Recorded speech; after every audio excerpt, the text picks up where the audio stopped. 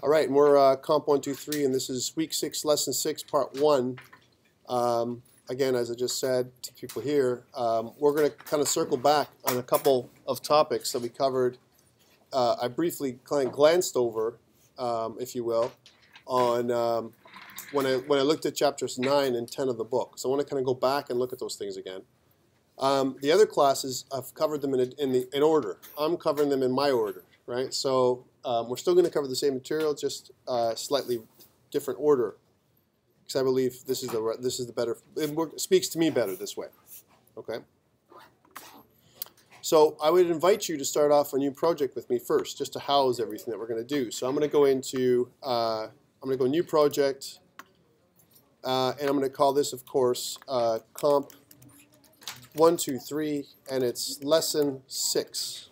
All right, that's what I'm going to create here lesson six. I'm going to go into GitHub again for you guys who want to follow me on GitHub.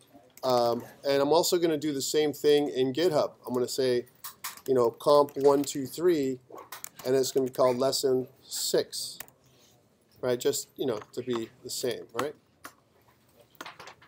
I'm going to grab this URI, and then when I go over here to, uh, when I go over here to uh, uh, the project, I'm going to uh, go to Team Explorer. And again, you don't have to do this. I'm just doing it so I, can show you what I'm doing. I'm going to set up a new commit, and it's going to be kind of initial commit or uh, maybe create base project. And then uh, from there, uh, I'm going to go unsync commits, and I'm going to uh, sync up so you guys can see what I'm doing. Okay, it's done. So now when you guys go up on GitHub, if you want to follow me, while I'm doing this, you can see what my code looks like. It's here under Comp 123 Lesson 6. Okay, so I'm going to close this down. I'm not going to look at that for a while. So up until now, we've kind of covered classes, uh, advanced methods, reference types, value types. Um, we skimmed by a little bit of, of uh, interfaces and abstract classes. Uh, what I want to try and do with you today, I want to build up to uh, creating uh, a deck of cards, right? But I want to build it with you, with all of its functions and uh, or methods and and everything else, right? But in order for us to get there, I still need to cover some bits and pieces uh, over today and tomorrow of um, some of the stuff that we didn't cover yet in this, these two chapters. So I'm going to start off with properties again. So we talked about these set accessors and get accessors. And remember what they're called in other languages are setters and getters. All right. So once you hear the difference, when I say property, right, properties, it's different than an instance variable. An instance variable is just a, a variable that you can give um, an access modifier to. Like for example, if it's public or private, and it's available within the class. A property typically is something that has both a setter and getter are set accessor method and get accessor methods. That's what they have. And again, if you think about it, set accessors, we set the objects fields with them, and get accessors for retrieving them. And when we only have a read-only property, that means we only have a get accessor for the property itself. Okay, so just to remind you of what they were. And they look like this. They have this public uh, int, and if you notice, it's uh, we have a private uh, instance variable. Here's my instance variable, ID number right? And if you notice, my ID number instance variable has a lowercase i, right? And but my public property, public property, the thing that's visible to the outside world, right, has a capital I, right? So it's a different, it's a different way of accessing a class. They're not the same. They don't clash, right? If you notice, inside the public property, we have our instance variable that we're returning and setting. So we, we almost create, and I'll say it like this, an interface. It's not an interface, but it's just like an interface in terms of how we can connect, how we can get and set our variable from the outside world without using a constructor, right? So normally we'd set some stuff in the constructor. We we've already kind of uh, talked about that. Um, some would say that that would be second. We would do this first and then the constructor way second. But I find that the constructor methodology, when we actually set things in the constructor, is the most common way right? When we actually look at a class, we throw things into the constructor, and then we set our instance variables that way, or initialize them, right? Um, however, we do at times want to change our um, the value of certain instance variables, but we want them to have, we want to almost create a methodology on how to do that. Okay, so here's a, a generic um, a property, right? Now I'm going to use this for practice in over here, and if I, I'm not going to create a class, right? Uh, actually, why don't we do that? Just to make it simple, I will create a class called class. So I'm going to go right click, I'm going to say add, and then I'm going to go new item, and we're going to go to class. Here's class 1, right, as an example. I'm going to leave it as such because this is going to be our first example, right? Don't worry about the name of the class. Right now it's called class 1, right? In our class 1, if you notice, we have, we're still part of the same namespace, comp123 lesson 6, just like our program, comp123 lesson 6. Remember, just as a very, very high level discussion about namespaces, what do you guys remember what I, what I, that I said about namespaces? What the heck are namespaces anyway? Anybody? So what? It's a folder or a container, I think is the right way to think about it. it. You can think about it as a container, right? So really it's a way of compartmentalizing our code and making our certain pieces of the code available, um, you know, uh, and also hiding other pieces of our code or creating libraries, if you will, of code, right? But for us, that's really advanced. And for now, all you have to think about it is the container that we're inside.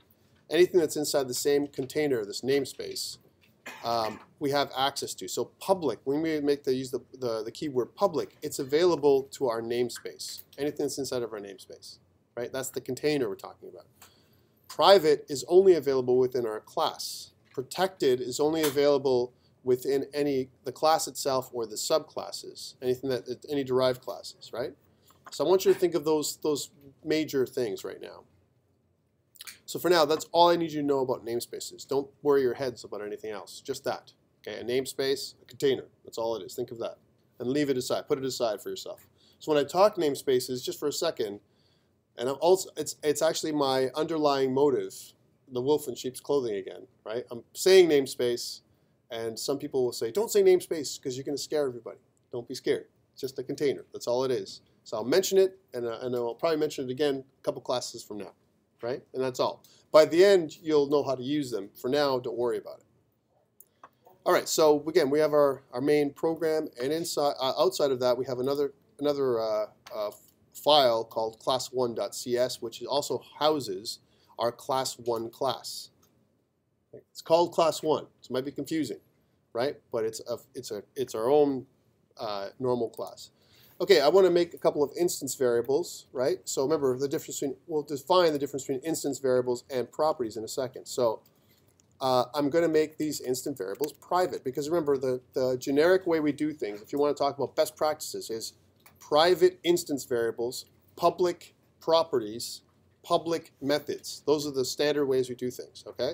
And there's going to be some uh, private uh, methods as well, things that we only use inside of our class, utility methods, so to speak, of doing things. Okay, so here's our private method, the first, well, the private uh, instance variable, and we're going to say, let's say, it's going to be, um, we'll call it integer number, right? I did some of these things before, so here's our private int integer number, okay? We'll do another one, private string, right? We'll call it string variable. Okay, so we got a couple of private uh, instance variables. And I'm going to start calling that as opposed to properties like I used to, just so you understand. Properties are for the other kind of programming languages as well, but these are uh, private instance variables. And I'm just annotating these things so that you know where they start off. Okay, these are my private instance variables. I want to create my uh, public properties. Now there's a couple ways you can do this. I can certainly create my public properties by hand, right? And or by, from scratch. The first thing I would of course put is public, right? And then I'm going to um, name the property right as a type, so int. And then the name of the property, and I'll, I can call this uh, integer variable, just like I said, integer number, capitals, right? And then I can def define a, a block for this uh, public property, right? my integer number with a capital I as opposed to a small i. See the small i? See the capital I? That's the only thing that, that makes them different from one to the other. Yeah? All right. Now remember, we set we have our getter and setter properties. So typically you can set them up as get, right? Here's our get accessor method. So in our get accessor method, right, what are we doing, right? We're getting the value, right, or returning the value. When I have a getter, it's like I need a return value. So I'm going to return what? This dot integer number, right? That's what getters do, right? They take the value of the integer number that's up here, this instance variable, right? So this returns, I'll put, I'll annotate this, returns value of integer, of, uh, of uh, instance variable, whatever the instance variable is, right? In this particular case, it's integer number, right? And then we have our setter, right? Here's our setter, or our set accessor method, as it's called here in, uh, in C Sharp. And what we want to say, we want to set our, in, our local variable, our instance variable. So we say this dot integer number is equal to value. And value is a keyword that we, we, we're going to use, right? So this sets, sorry, this uh, uh, sets um, our instance variable. Right? What I mean by that is I set the value through that method. I can't access small i integer variable because it's private, right? Small i. This is the, the, the, the uh, uh, instance variable here, right? But I can access capital I integer number. This is a property. So here as where we have our public properties, right?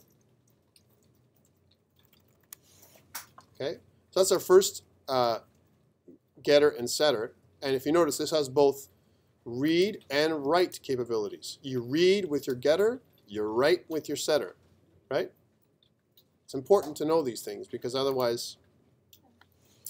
Okay, so, but I want my other one, I'm going to make another one, public string, and it's going to be called capital S, string variable, whatever we want to call it. And I'm going to scroll up in a second so you guys can see it. Here's my public string variable. But instead of making getters and setters, I only want to make a getter property, right, or get accessor method, which is only going to return this the value of our um, our string variable, right? This is really, if I only do just the getter, this is almost like a read-only, right, a read-only uh, property. If I only define my setter, or my getter, I mean, okay? So the difference is this, they're both public properties because this is a string variable and this is an integer variable. But this one, this public property uh, of, of how it relates to this these instance variables, it only I'm only able to read it. I can't write to it. Okay. So then, now let's create our constructor, right? Our constructor. So I'm going to start. I'm going to kind of post, pull, you know, pull down a little bit more. And remember, our constructor is public, so I don't really have to put it in, but I will anyway, just as a, as a thing. And it has to be the same name as my class. So class 1, right? So here's my first constructor. If I just create a constructor like this, right? This is not the empty constructor. This is the non, this is almost like my, I've, I've kind of overridden the empty constructor with my own. I don't have to put this in here and C Sharp will generate its own constructor, right? Its own empty constructor. I'm not going to generate one. I'm going to generate one of my own, and it's not going to have an empty constructor. I'm going to create one that has a constructor that takes a string, right? So I'm going to ask for a string in my constructor, and the string is going to be called, of course, my string, or the, I'll call it the string, right? So this string is coming in, right, into the constructor, and inside the constructor is where I want to set it. This is there's so there's two ways I'm doing it here. So I said this dot string variable, right, is equal to the string, right? So I'm actually setting the string, and this is my constructor section. So here's constructors.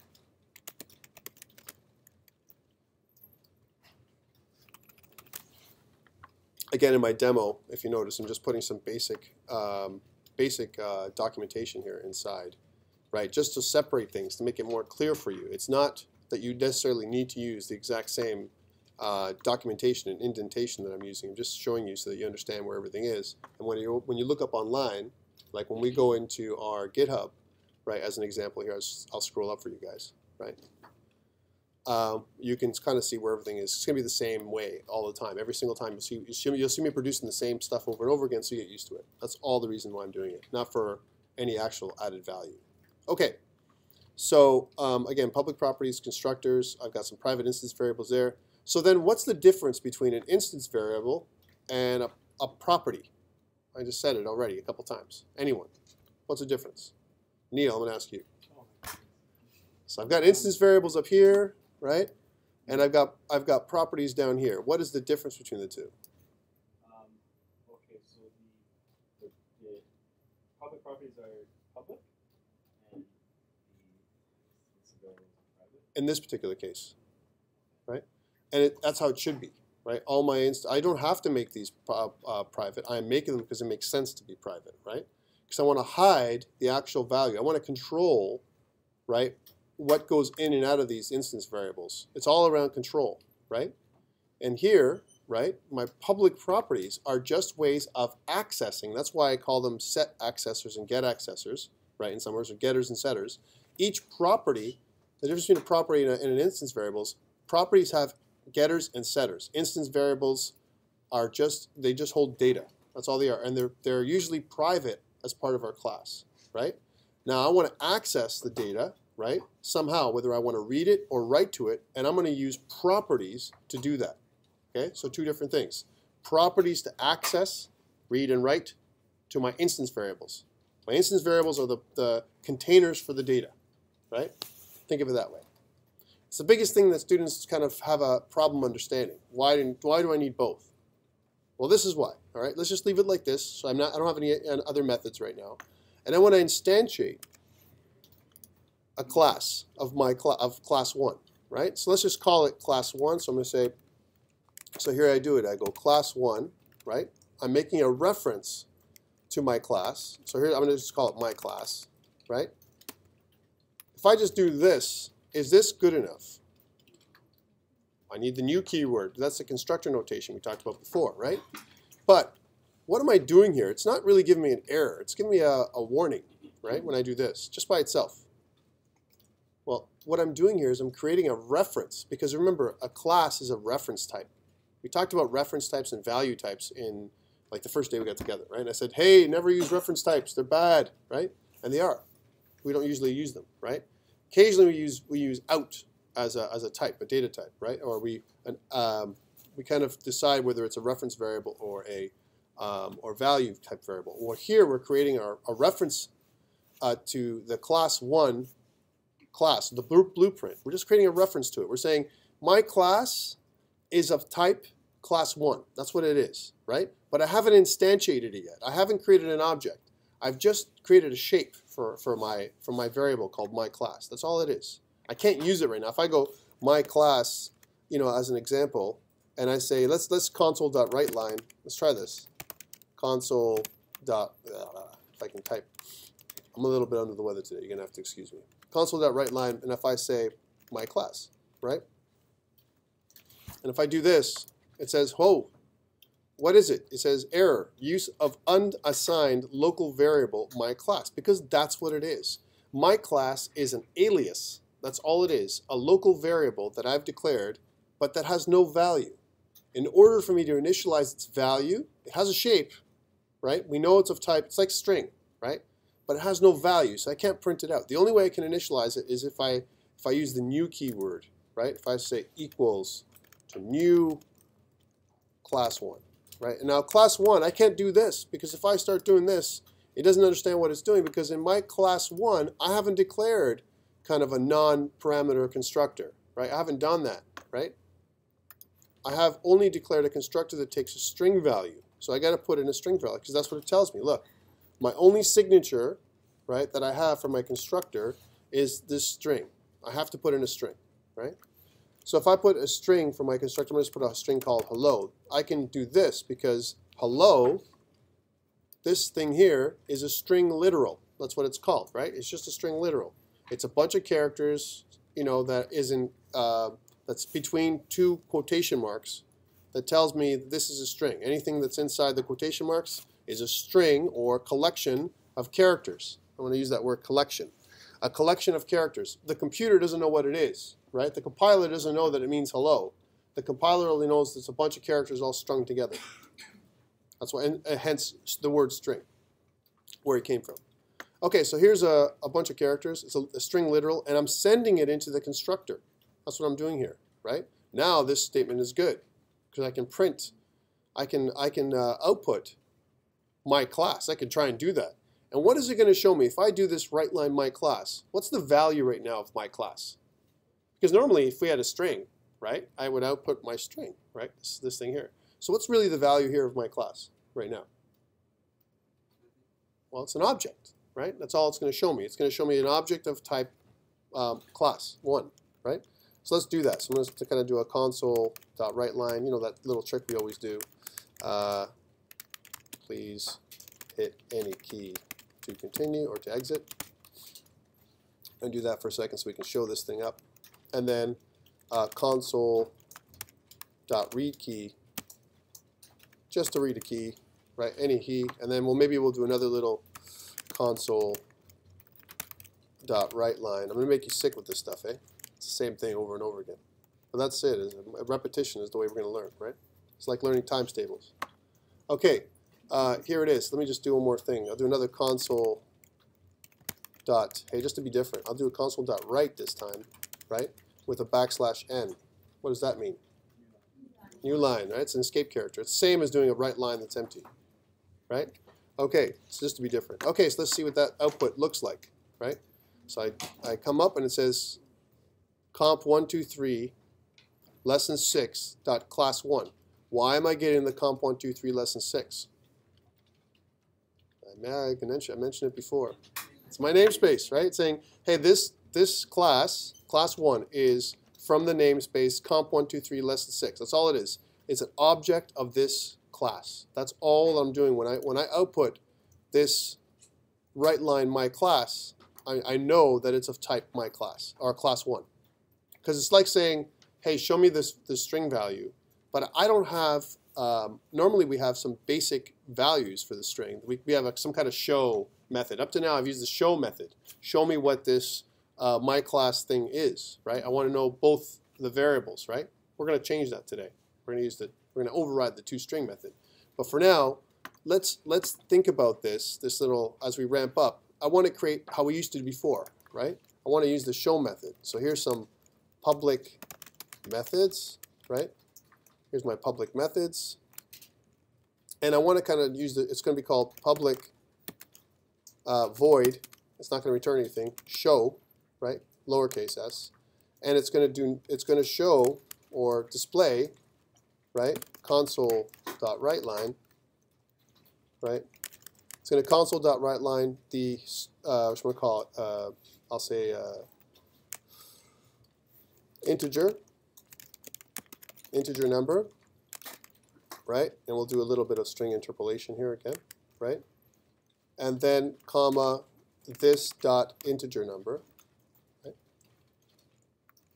And we'll do the same thing for, right, um, string variable, and we'll do a in string interpolation this dot string variable right? So I'll actually print them out. That's This is like showing me, if I do this, and this is just my show kind of method, right? That we didn't declare it till now. Just spacing it out so it's all aligned. That's all I'm doing here, right?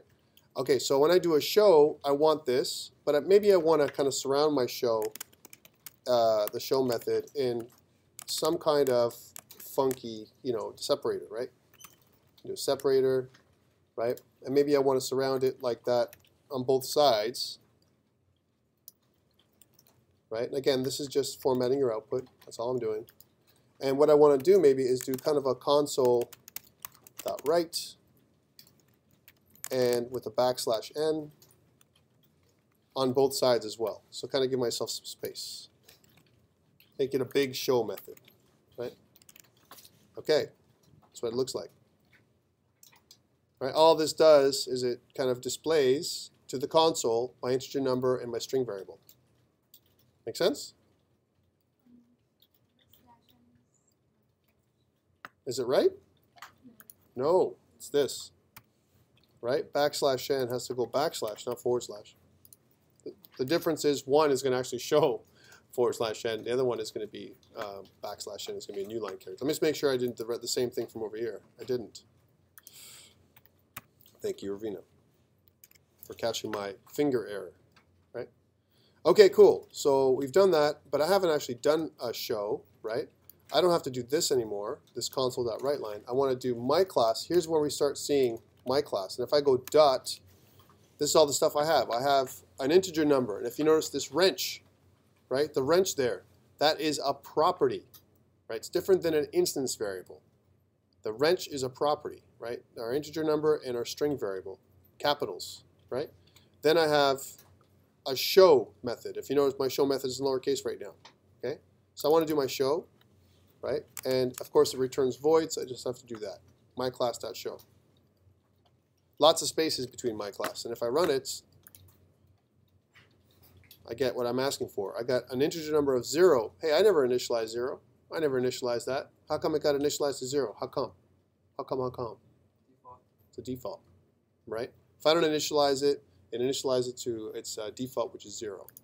If I want to initialize it though, before it gets to this, I can't do it here in my constructor because I haven't created a, uh, a signature for me to do such a thing. But I can use my property, right? My properties, which is my class dot, and if I want to do integer number, right, is equal to, and I want to set it to whatever I want to set it to, 10, let's say, right? This is the way I can assign my, my value to my property right? And when I run it now, I get 10, right, up here. Let me just redo this just so that you can see it a little bit clearer. I know people sometimes complain. They go, the video, Tom, is good, but it's too dark. Okay. I'll try and appease everybody. And we'll go into a font uh, that's going to be a Consolas 20. There we go. Clear? So 10, integer number 10 string variable hello. That's what I put in there because that's what I put into my constructor. Look, look at my constructor, hello? Now hello also has a read-only property. Remember, I created hello. Uh, uh, sorry, my string variable has a read-only property. So in my class, my class has a string a read-only property for string variable. So if I try and do this, it's going to it's going to give me an error. My class dot string variable right is equal to goodbye right? It should error out when I try and do this, right? See how it circled the underline? Why? It says error, right? Um, it is read only.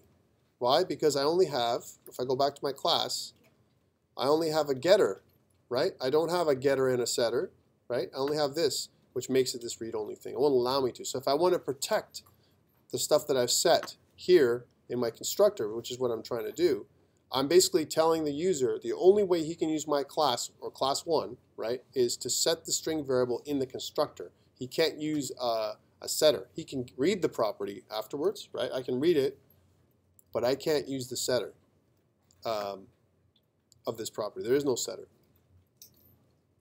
Make sense? Sometimes it's important to have read-only properties, yeah. So if you set instance variables to public, you don't use. If yeah, I set- if I was to set these instance variables to public, right, it breaks the, the, the bond we make when we say we're doing uh, object-oriented programming, right? We don't, we try not to, see, to have any public variables.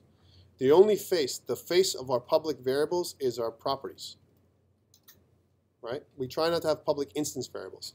All of our instance variables, by best practices, should be private all the time. Okay, so I, next time, you might do a test, hint, hint, and I'm going to ask you to do some more complex stuff. Like the last test was like Mickey Mouse, like nice and easy to get you guys into creating a class and blah, blah, blah, right? And the next one is going to be, okay, now I need to set this up, a couple of instance variables and related properties, which with this one property being get read only. And what do I mean by read only? Only a getter. Okay, but let's say here here I am here. I forgot to add this in it. This this one in. I want to add my string variable in as an option, but I forgot to add it in. I know how to do it manually. How do I do it with the refactoring way? How do I do that? Does anyone remember? I showed you guys this. So there's tricks. You can do it both ways, and I'm okay with both ways. I right click on the on this thing, right, and it says refactor, right, and if you notice, it says it says extract interface. That's one thing I could do, right? I also can extract a method, right? If I try and do that, let's see what kind of method it can extract. Well, there's nothing to extract, right? I can't create a, a property from this thing. It's a private. If I go re refactor, if I say, how about extract interface, right? Well, extract interface is cool, but that's not what I want either. So there, there really isn't a quick and dirty way to write this thing, right? If you remember, if you look at it, right? Some other uh, uh, IDEs, like for example Eclipse, if you're writing with uh, with Eclipse and you're, and you're, using Java as an example, you can simply right-click here and it'll, it, it allows you to extract not just the method, but it'll actually create the getter and setter for you, right? For us here in C Sharp, unless you have something like ReSharper, which is um, actually a really uh, a paid-for tool set for refactoring um, by JetBrains, right? Actually, what it would allow you to do is it'll allow you to refactor automatically. So instead of you writing a code, you write it'll write it for you, right? But for us right now, all we have to worry about, and some people asked me this last time, can I do it automatically? And the answer right now is don't bother. Just it's not that difficult to write a public getter and setter method. Really, it's not. All right. But what about if I want to make, I want to kind of talk about my public properties, but I want to, I don't want to give them either a getter or a setter. Is there a quick way to write it? And you'll see it in the future. It's going to be written like this. Let's make another one. So here's my private string variable. I want to make a float. All right, so private or a double. Let's do a double. Double, and we'll say double number, right? And this double number will have a default value. I'll set it up as, you know, 0, Okay, that's my default number. And I can put, I should put a D for double, right? Theoretically, although 0, 0.0 assumes it's double, right? Okay, cool. I want to make a public, the public face of my, uh, of this thing. But you know what? I do one of these. I say public double, right? I set up a, the name for it. And so of course it's going to be called double number with caps, double number. And what if I do one of these? I kind of set up my uh, you know, my braces here, and I say set or get set like this. Get set. You're going to see it like this. What the hell is this notation? What does that mean? Is there a getter and a setter? Hmm. Oh, you'd be wrong, right? Let's see if I, if I was to set this up. If I do this, public get set, right? And I go back, right, to, oops, not, that's the right, wrong back. If I go back to this, right, first of all, it says my class string variable goodbye. I can't do this, right, because this is wrong. But I, if I want to say, I want to set up my, uh, not, my, not just my integer. Oh, you know what? I just added something else. You know what? Let's let's set up a way to print out my my double number, right? So here, and we'll say double number because I forgot to do that in my show. Double number zero, right? And I'll make it so it's on the same line add a couple spaces in there, right? And I'll say this dot double number, right? So I've got that as part of my show, right? I just added that in. That's all I did. Okay, cool, cool. I got this. Is it going to work? What is it going to do, right? Let me go back here. So I say, well, you know what? My class dot double number, hey, it's there. Double number is equal to 50.0D, right? It works. I used to. I can use D or I cannot use D for double. D is the is the it tells it it's a, the literal. This literal here, it tells it it tells me that or the compiler that it's actually a double precision literal. I don't have to do any casts, right? If it was a float, I would have to use an F. If I was a decimal, I'd have to use an M. Right? That's back from uh, uh, your programming one. For those people who forget. You guys forgot about that? You guys are silly people. Sorry. Sorry, did I say that? No. Yeah, I will show you again. All right, how about that? We'll reteach that. People, we'll have the, a capsule class where you learn everything from first part and second part together. How about that? All right, I will have to do that. It looks like. Okay, it doesn't matter. I'm moving on. All right, so let's say let's let's look at this. So here's my my class dot double number is equal to d, right? This just tells that this is a literal, right? This this is a integer literal, right? A one zero is an integer literal, and this is a double literal because I put the d. Now because it's double, I can leave the d out because the default is double for any kind of floating uh, any kind of floating point number. So let's leave it like this because you guys don't know what that means, right? Okay, cool, cool. Uh, well, I don't know if it's going to work because I don't have a getter and setter. I didn't make it, right? So let's see what happens. Well, there it is. Right? Here's my double number, right? And my double number showing zero. I set it. Here's my setting. I'm setting my double number here. And if I go into my class and calling it, right? But there's no default, right? I'm trying to set it up and, and uh, getting and setting it. It can do it, but there's nothing in here. And it seems to me that there's no way of setting this up so that it, it, it, it kind of puts it in here. But what if I said this? What if I go do this?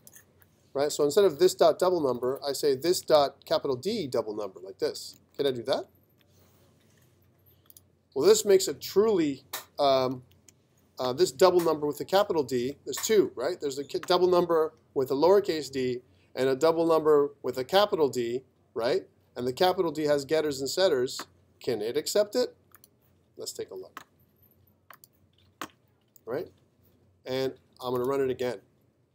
Yes, it does. So what it's doing, what it's doing when I'm doing this, is it creates a default getter and setter method when I do this, when I use this notation. This is just a different notation, right? But the thing is, here I'm making it so that capital D double number, I don't need this private because you know what? Um, this is never assigned. If I wanted to assign this thing internally, I'd have to make it separate. I have to make a separate assignment statement that says double number the external one, uh, or this dot double number is equal to double number, capital D, right? Which makes no sense. So typically you only have one of these. This would be gone, right? Why do we do this?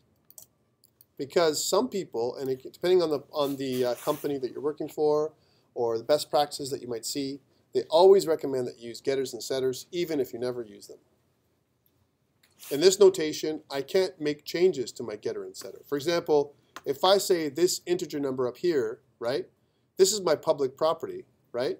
And but I have a code block with this public property, right? I can do something here, not just set the value, right? I don't have to do this. I can say, you know what, my value, my integer number is times 2. I can do that right here, right? So it's not just getting the value, but multiplying it by 2. I can do whatever. I can do other things in here. I can do a console console.writeLine as well, right? Because this is a code block. I can do whatever. Setting value, right? As a almost like as a, a debugging statement right? And I'm multiplying it by 2. Let's run that. Okay, cool. So I got my, here's my setting value, right? It, it means it went by the setter, right? And now my integer number, even though I put in 10, it becomes 20 because I multiplied it by 2 over here. I can do that with these code blocks, right? I don't have the option of doing that here, right? These are the empty getter and setters, the default getter and setter that just gets and sets the value without me having to do all this work. Yes. Uh, double number with the capital D, it's, uh, So it's like um, it's a property, but I'm using it as an instance variable. okay, so is it a method Public- and a property? It's a public property. That's all it is. Public property. And the thing is, if you look at this, this lowercase double number has nothing to do. There's no association with that one and this one. Like the past fifty is stored in the double number. Correct. That's all it is. It's actually using it as a, a value type public number and has nothing to do with my instance variable. also seems like, seems like a method.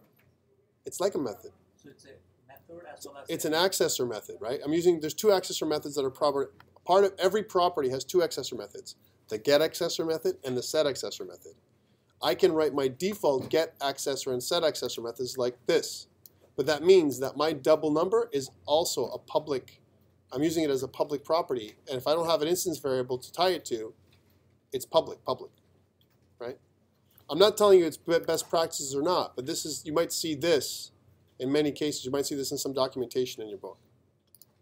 And this what what it means is it sets my default getter and setter methods to this property without me having to do this, right?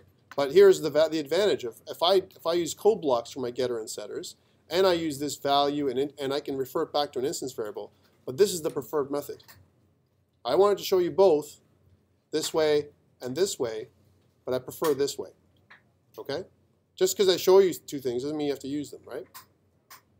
So what I really want here, instead of this double number, right, and this the way I want it, I want to make it so that I have getters and setters. What if I only made a setter? Like for example, one of these. I said set, right? I can only set the value. Is there such a, it doesn't make any sense that I only have a setter for a property, ever. I set it, but I never use it. Maybe. There might be some kind of control issue you want to have a setter, but usually you have read-only properties. There's very rare that we have write-only properties. So I'll probably never give it to you on a test. I'll never say, create a write-only property that links to this instance variable. I'll never say that, right? I might say, create a read-only property of the instance variable, right? I might say that. And the difference between instance variables and properties are, you know, one is the face of the, of the uh, it's almost like I'm the representative of the class. I'm a property, right? And I'm going to represent you. You're, I'm going to be your delegate. You're going to be my instance variable. I'm going to I'm to take the value. I'm to talk to the I'm to talk to the people outside of the class, right? But they're not never going to see you. I'm going to be your delegate. I'm going to be your front man. I'm going to be re- your representative if I'm the if I'm a if I'm a property. The instance variable, you never you never talk to those people, right? If they're people. If I'm relating people to instance variables and properties, properties, that's like the PR person. That's the person that you see. Instance variables, they're, they're the execs. You don't talk to them at all, ever. Here's one more thing. You might see in some documentation, and I'm telling you this in the real world, see my integer number here, right? And um, it's, it's like this, lowercase integer number. Private variables, instance variables, are often shown like this. I'm going to refactor this thing, go rename, and I'm going to add an underscore in front of it like this.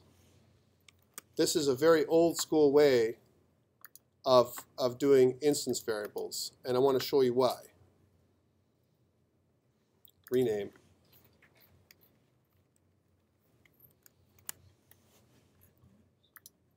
Underscore. I start my variable names with underscore. Why am I doing that? Correct. Through my code, I can look at it. I can look at instance variables, and I can say right away, you know what? These two these two variables right here, they're private instance variables. They're not accessible outside of my class, nor should they ever be.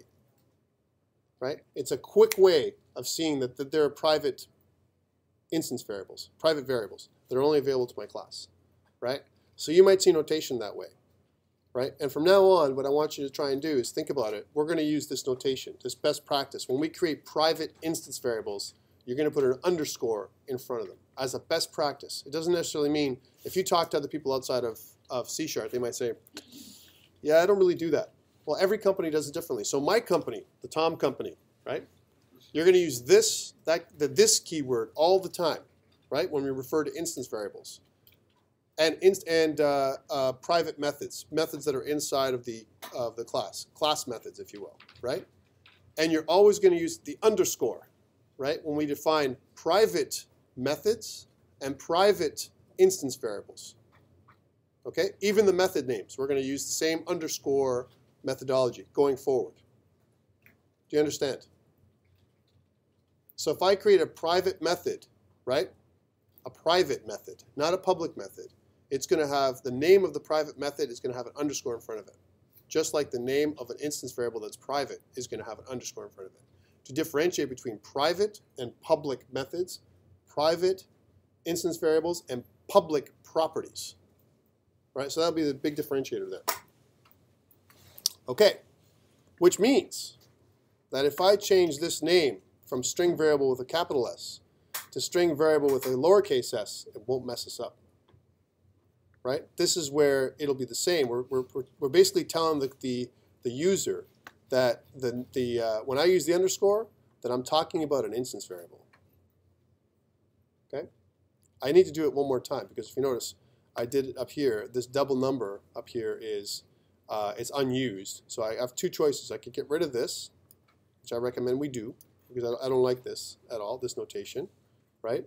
And we create our own. I'm just just gonna refactor this thing. Refactor, rename. I'm gonna put make it a, an under underscore in front of it, right? When we create our stuff, right? Okay, there it is. And then down here, when I print it out, or when I show throw it to the command line, right? I need to make it as the uh, uh, underscore double number. That's what it's going to be. Okay, let's just fix that. That's not what I wanted. There we go. Okay, so do we understand the convention? Right. The other class might think you're all crazy, right? They might say, "What? He told you to use an underscore in front of your uh, um, your private uh, instance variables?" And the answer is that all instance variables theoretically should be private, but there might be some that are public if you want to make them, right?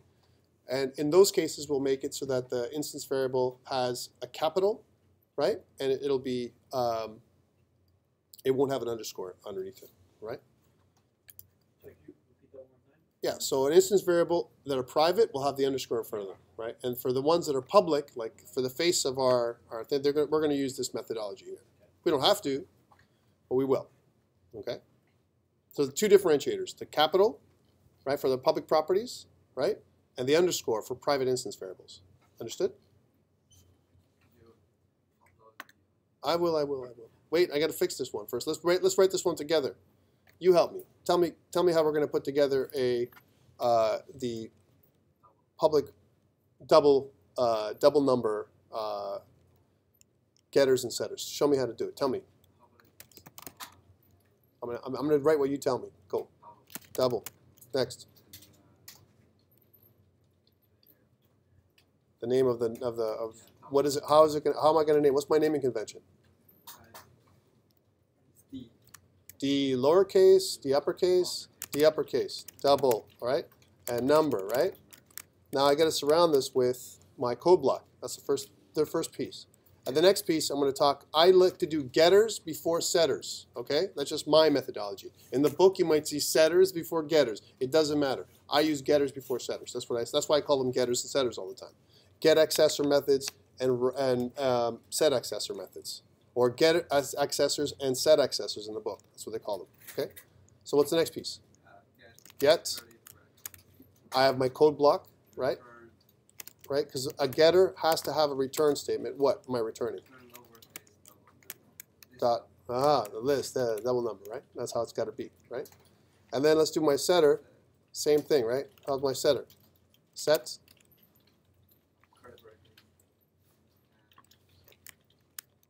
Yep.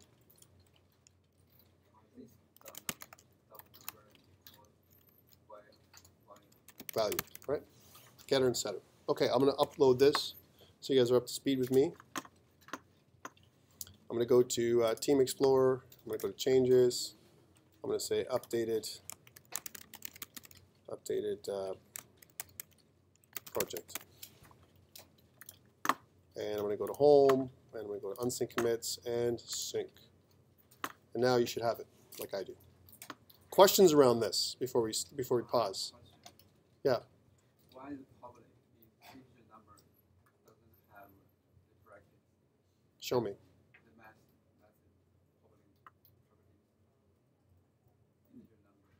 Uh, why this doesn't have brackets? Like here, like this, these ones? This? It's not a method, remember?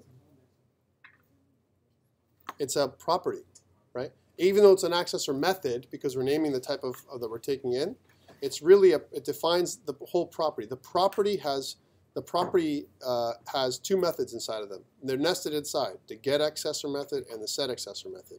We don't need this. You're thinking about this, right?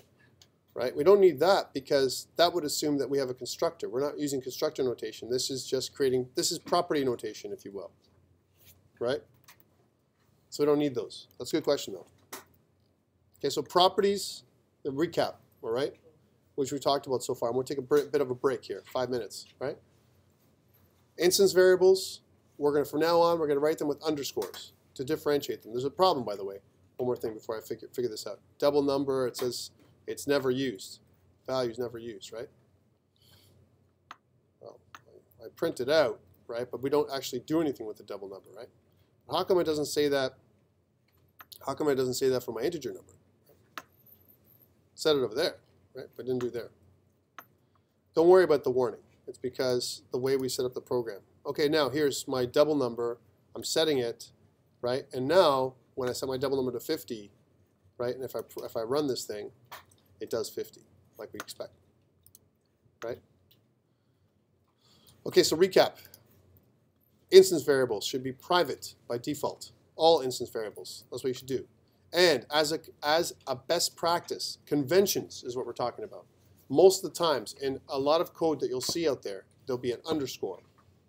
It won't just be for this language. It'll be for C, C++. You'll see it in JavaScript. You'll see other languages where private members, if you will, um, will be of the class are going to be an underscore in front of the name.